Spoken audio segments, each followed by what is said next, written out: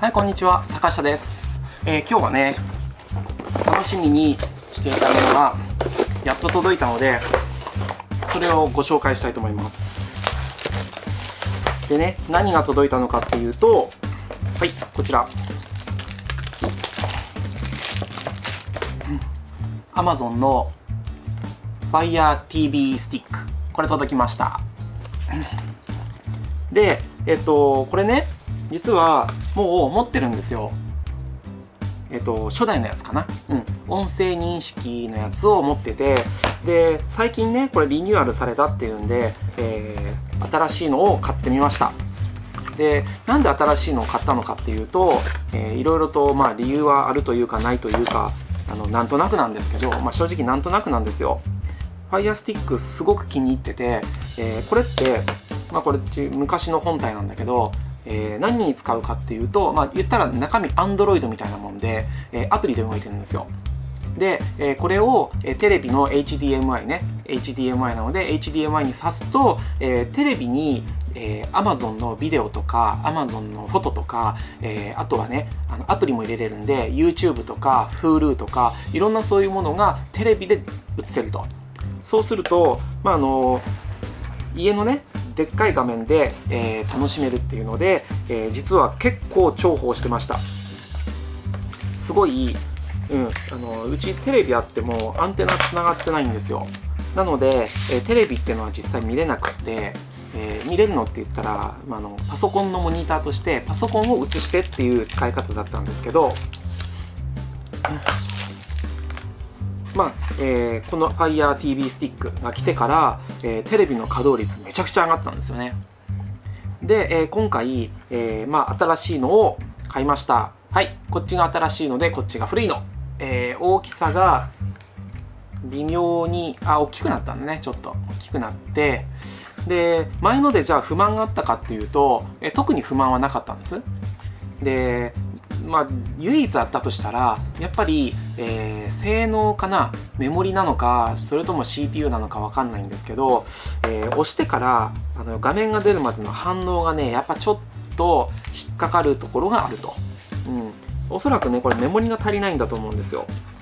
で、えーそういうところにちょっと不満があったので、まあ、新型が出たということで、えーおそらく新型だったらそういう不満点も解決されてるでしょうということで購入してみました。はい、えー本体、うん、とあとは変換ケーブル。これ HDMI to HDMI だよね、えーとテレビでこれを直にさせればいいんですけど、えーとこっから USB で電源も取らなきゃいけないし、えー USB あの HDMI か。HDMI の端子がまああのまっすぐテレビのねこうついてるものもあればこうつくものもあるんですよ。そうすると、えー接続できないのでこんな感じに変換コネクターがついてるんですね。でうちは、えーこの変換コネクタがないと刺さらないうちです。というので一応変換コネクタを使います。よいしょ、うん、あら。抜けなかった。であとは、えー、と USB ケーブルと AC アダプター。はい。こんな感じね。まあ必要なものってもうほとんど揃っててあれ？これあ音声認識あ音声認識リモコンが最初から付属してるんだ。うん。これリモコンがねよく見ると一緒。うん。音声認識。音声認識はここにボタンがあってここね音声認識で使えるようになってます。ここを押しながらこう喋るんですけどえー、とアプリ内で検索とかができないんで個人的には微妙かなっていうふうに思いました、うん。で電池もね付属の電池も Amazon ベーシックさすがしっかりされてます。よし。はい。じゃあ、えーとりあえず開封はともかくとして早速設置してみたいと思います。はい。で、えー接続、えー、とちょっとねあっさりと終わってしまったんで、えー接続の画面 説明画面なしです。早速設定していこうと思います。まず開始するにははい。で言語を選んでネットワークをスキャン中。はい。で接続する、えー、ネットワークを選んであとパスワードね。はい。で今接続中です。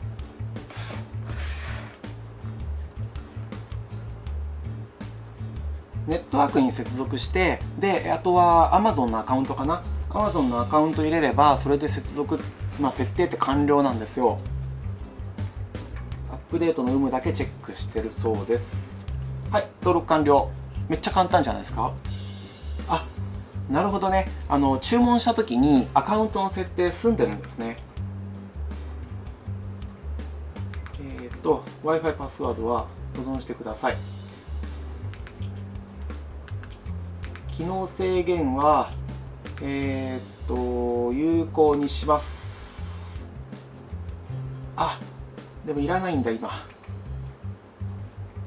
い今機能制限が有効になりました。ネットワーク速度を確認中。セットアップの処理が完了するまでの間新しい FireTV スティックの使い方を簡単にご紹介しましょう。リモコンに話しかけるだけでお好きなと数百万曲のプライム楽曲早送りはできました。はい来ました。あれ？あれ？これで一応あ一応これで終わりみたいですね。で一応購入履歴とかは残ってるんでえーと、このエアレシーバー例えばエアレシーバーなんですけどこれって、えーと、テレビにテレビに、えー、Fire Stick 経由で、えー、iPhone の画像とか iPhone の画面とかを表示するときに使ってたんですよ。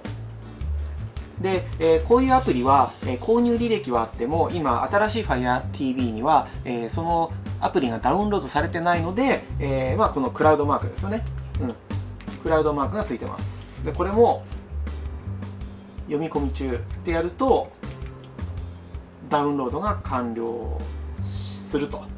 まあ新しく iPhone 買った時とかと同じような感じですね、えー、購入アプリの購入の履歴は残ってても、えー、アプリを、えーアプリは実際にダウンロードされてないんでもう一回ダウンロードしないといけないと。ただ追加でまた費用がかかったりすることはないっていう感じですね。あちなみにこのエアレシーバーは有料でした。でホームボタン、はい、ああでもどうなんですかね。ちょっと全体的に動作は軽い気がしますね。今一番使うアプリって言ったらちょっとえっ、と無料ゲームじゃなくてアプリのこれ YouTube はい。これもダウンロードし直しですね。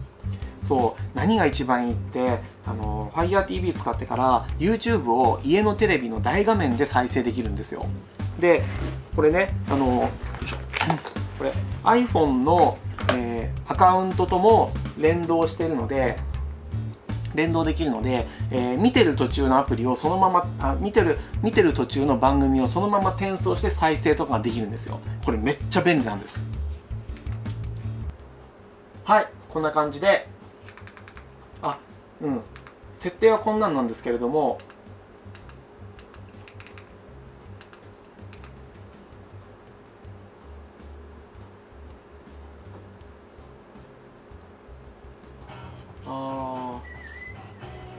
えー、ホームに戻る。あやっぱね全体的にちょっと処理速度が上がってるみたいでなんとなくサクサク動く感じですね。うんまあえっと一つ前の前のねこの FireTV スティックだとちょっとワンテンポワンテンポというか2テンポぐらい遅れる感じがあったんですけどそれがなんかなくなってるような感じですね。まあ、こんな感じで、えーと、設定なんていうのも全部簡単に終わってしまうので、えー、金額的には今回セール25%オフのセールでなんと4000円切ってました。はい。えー、4000円切って正直稼働率めっちゃ上がる、え、デバイスなので、え、プライム会員の方は、え、当然。でプライム会員じゃない方もぜひ試してみてください、え、YouTube 再生するだけでもめっちゃ使えると思います。え、自宅のテレビがすごく活躍できるので、えー、今回こちら、え、買い直してみましたけれどもぜひ使ってみることをお勧めします。えー、今回の動画はこちらでおしまいです。最後までご視聴ありがとうございました、えー、また次の動画でお会いしましょう。バイバイ。